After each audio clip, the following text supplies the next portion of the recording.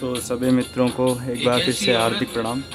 और आप सभी का स्वागत है एक बार फिर से मेरे यूट्यूब चैनल बियॉन्ड ट्रैकिंग में। तो अभी उत्तरकाशी से होके बूढ़ा केदार पहुँचे हैं जहाँ से तीन किलोमीटर के तीन दिन के बाद मैं केदारनाथ पहुँच जाऊँगा।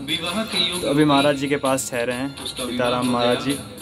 इनकी बहुत ही सुंदर रोटियाँ हैं। महाराज जी के हाथ में साक्षात अन्नपूर्णा निवास करती हैं।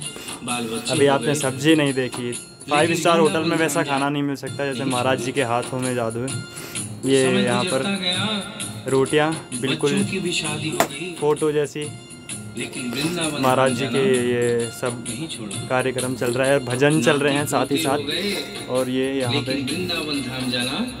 ये सब्ज़ी बनी है। लेकिन कहते हैं कि आलू और बैंगन की और ये महाराज जी एक और हैं। ये भी हमारे साथ आए हैं। तो कभी अगर आना हो बूढ़ा केदार तो आप और वहाँ से कन्हैया की